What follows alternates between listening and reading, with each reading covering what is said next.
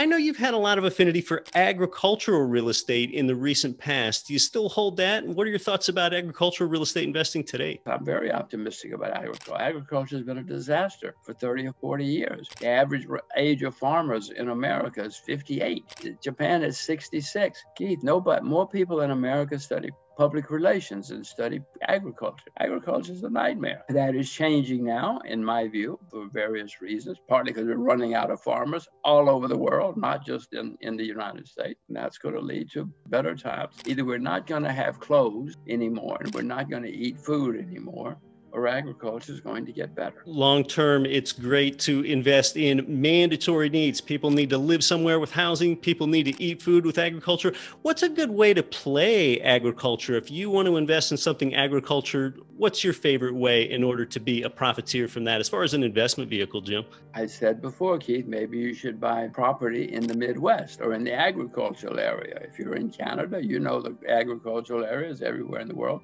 because farmers are going to be better off. And so prices in those areas are going to go higher, whether it's for houses or farmland or whatever. That's what you should be looking at. It's one way to play.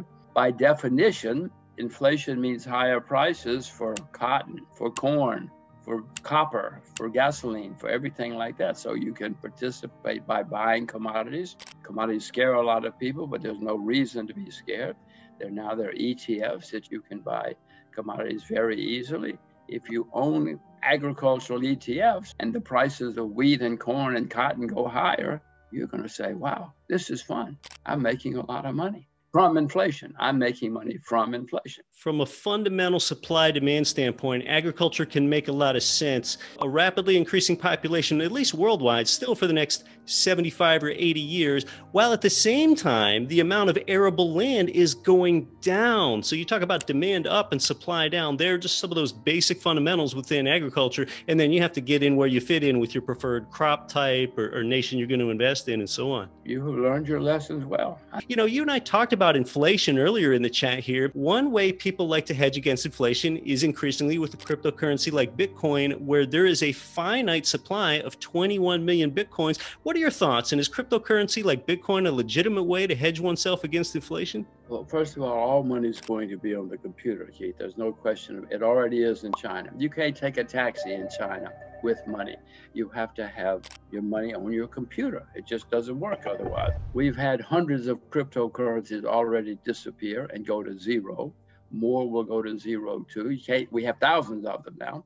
Maybe they're all going to work. It usually doesn't work. The world usually doesn't work that way. So money is going to be on the computer, but in my view, it's going to be government money. When the US money is on the phone, on the computer, I don't think the US is going to say, okay, this is money now. But if you want to use their money, you can use their money. That's not the way governments think, or you, uh, politicians, bureaucrats, don't like to lose control. They like to keep their monopoly. And I suspect that that will happen again. So if these currencies, any of them, become viable as currency, I suspect the governments will step in. They always have. We'll see. But Keith, Keith, I want to say, if you're good at trading, and these are nothing wrong with these as trading vehicles right now, and if you're good at trading, do it. But if you think you're going to have the new US dollar, I suspect you're not.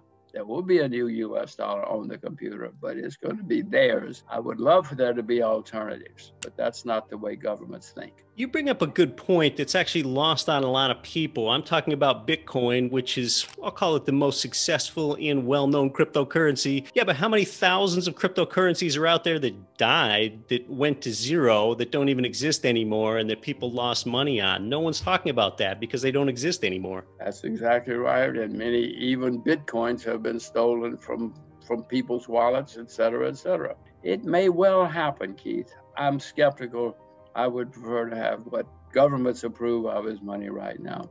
Because if they make it illegal, I certainly am not going to use the alternative currencies. I'd rather be poor and out of jail than rich and in jail. Some wonder if cryptocurrency can really be shut down. Maybe this is somewhat analogous to an executive order 6102 from about 90 years ago when physical possession of gold and silver was made illegal by the United States government and confiscated. I mean, you could still own it, but it just wasn't legal to own it. I mean, can cryptocurrency be shut down? Is is that realistic? Well, the crypto people say it's not realistic, that they can outsmart the government. They also said it was anonymous, but as you know, it the last two or three days that they have found that there was a big heist recently where they closed a pipeline. They demanded money from a pipeline. They got it. They were paid in cryptos. Well, the government tracked them down and has gotten it back now. So the idea that these are everything is anonymous and can be shielded from the government is being proven wrong more and more every day. So it can happen that the, the, government can do a lot of things. I mean, I don't particularly like this at all, not at all, Keith, but governments do have that power. Can they shut it down? If they make it illegal, most people, and me and others, will not use it anymore. Recently in Myanmar, for instance, they just closed the internet. Without the internet, you don't have cryptocurrency. But without electricity, you don't have cryptocurrency. You can go down to the shop and say, look, my money is on my computer, but my computer is inaccessible. This guy's going to say, I know you need bread, and I would love to give you some bread and wheat, I mean, and, and everything and some beans. You got to give me money. I'm sorry your computer's down. I'm sorry electricity's down, etc. So the government can do all sorts of things, whether we like it or not. And I don't like it, but facts are facts. Jim, you've had a lot of wisdom. You've published so many impactful books over the years. You've traveled to so many nations. So, you know, I'd really like to know what do you think that a young person should know today? Day, whether that has to do with investing or personal development or, or anything else, maybe something that that young person's not thinking about. What should they be thinking about or investing their time in? Everybody should invest their time now, especially in knowing about the world, preferably a second language. I grew up in the United States where nobody cared if you didn't speak English. But in the next 50 years, next 100 years, it's going to be important to know a second language well, and it's going to be very important to know about the world.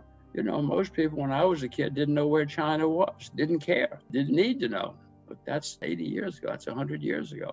That world is gone. So I would suspect everybody, I urge everybody to learn about the world as much as you can you know, I recently ran into a woman from China who didn't know that Beijing was the capital of China. So there's a lot of ignorance out there. And if you don't know about the world in the next 50 years, you're not going to have an advantage. You're certainly going to be at a disadvantage. So I would learn as much as you can about the world outside of your own country. I would learn about possibly re- residing, living outside your own country. And I would certainly try to learn another language if you can. You're preaching to the choir. One of my degrees is in geography, so I often think spatially. And yeah, you're right, Jim, especially here in the United States. I'm sure it's only a minority of people that could adequately point to Brazil on a map, or Spain, or Myanmar, or South Africa, or any of those sorts of places. And it's increasingly relevant in an increasingly globalized world. Most Americans cannot find the Pacific Ocean on they say, who cares where the Pacific Ocean is? Well, they're going to learn they're going to learn. My advice to everybody is to watch Get Rich, listen to Get Rich, because difficult times are coming. You need to get knowledge, and once you get knowledge, you'll get worried. And once you get worried, you'll do something. You'll start being prepared. And the people who are ready will come through difficult times in sparkling colors. Many people got rich in the Depression in the 30s. Most didn't. Most lost a lot. But if you know what you're doing and you're prepared, you will come through the next very bad times with flying colors. And you'll be rich. So get ready, do your homework,